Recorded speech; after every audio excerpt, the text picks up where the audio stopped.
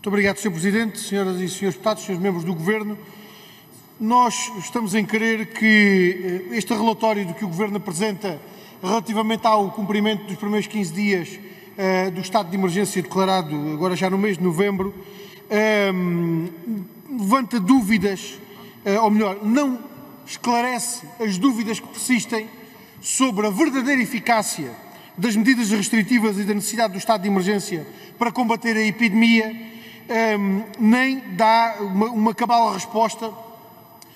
à necessidade de uh, encontrar soluções uh, de apoio, particularmente de apoio social, de apoio económico, perante o avolumar dos problemas económicos e sociais que resultam destas medidas restritivas. E estes são dois dos aspectos que para nós continuam a ser aspectos fundamentais na abordagem das medidas a tomar no combate à epidemia, seja ou não no âmbito do estado de emergência, entendemos nós que para lá do estado de emergência e sem necessidade do estado de emergência. E queria dizer, senhoras e senhores deputados, senhores membros do Governo,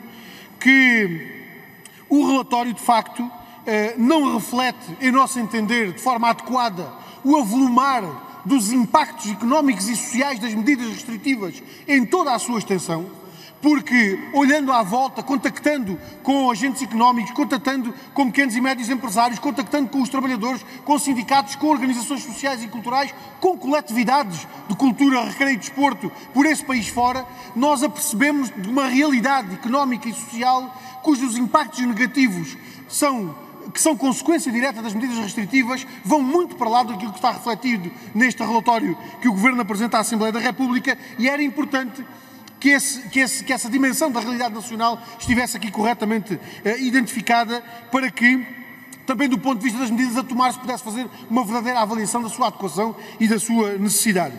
E, simultaneamente, isto implica que também o próprio relatório não possa refletir as circunstâncias verdadeiramente dramáticas que resultam da falta de apoio a pequenas e médias empresas, a setores económicos fustigados pela crise desde há meses e continuam sem ter resposta às suas necessidades mais imediatas, não apenas para poderem fazer face a despesas, a encargos, a custos que continuam a ter, apesar de não terem atividade económica, mas até sobretudo para perspectivarem o futuro. Qual vai ser o futuro? Setores económicos inteiros que estão impedidos de desenvolver a sua atividade ou muitíssimo limitados do ponto de vista das condições, das possibilidades, das, condições que têm e das possibilidades que, que se colocam para poderem desenvolver a sua atividade. Queria terminar uh, com uma referência